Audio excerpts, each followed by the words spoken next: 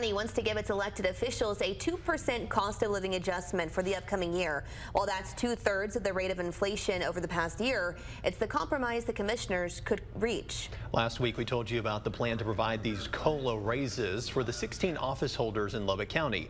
KCBD learned some court members were prepared to provide a raise as high as 5%, but some other commissioners said that they would not go above 2 Today, the commissioners unanim unanimously approved adding that incremental raise to its budget. County Judge Curtis Parrish says he's already plans to give his raise worth $2,500 back to the general fund. The court also